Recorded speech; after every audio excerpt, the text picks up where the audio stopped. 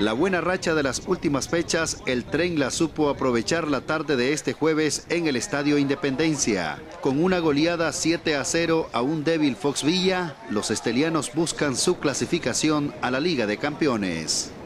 Bueno, la verdad es que nosotros aspiramos también a eso, a la Conca Champions, y nosotros no vamos a bajar los brazos hasta que se termine esto, pues eh, nosotros con este resultado nos da más confianza pues para viajar a la, a la ciudad de Managua, pues y vamos a buscar esos tres puntos y como te digo, hasta que se termine, vamos a ver qué pasa. Pues. Cada uno de los partidos tenemos que sumar día tres, independientemente de lo que pase, si quedamos fuera o no de la Champions, pero paralelamente el quedar en primer lugar te puede dar la clasificación a la Champions si es que Ferretti falla.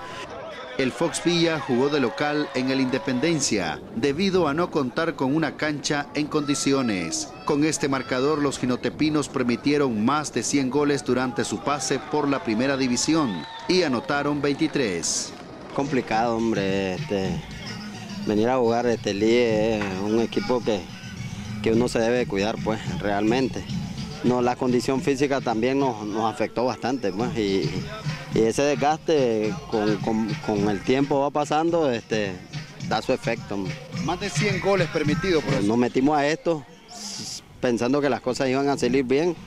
Realmente fue un golpe el que recibimos. Lamentablemente, pues vos sabes que aquí venir a sacar un punto es demasiado difícil. Un equipo pues que es competitivo a nivel internacional y nosotros un, un equipo pequeño, pues vos sabes que es muy difícil eso.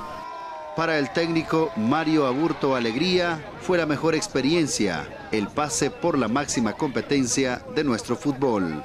Los que están aquí este, son los que han decidido quedarse, los que han decidido finalizar y el resto pues solo se fueron y bien, pero sí satisfecho por el apoyo de ellos hacia, hacia el equipo.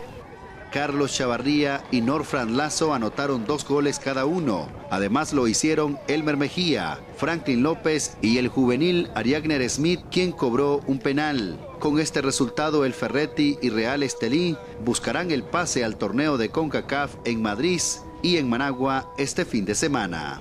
Con imágenes de Byron Pérez, les informó Jimmy Alvarado.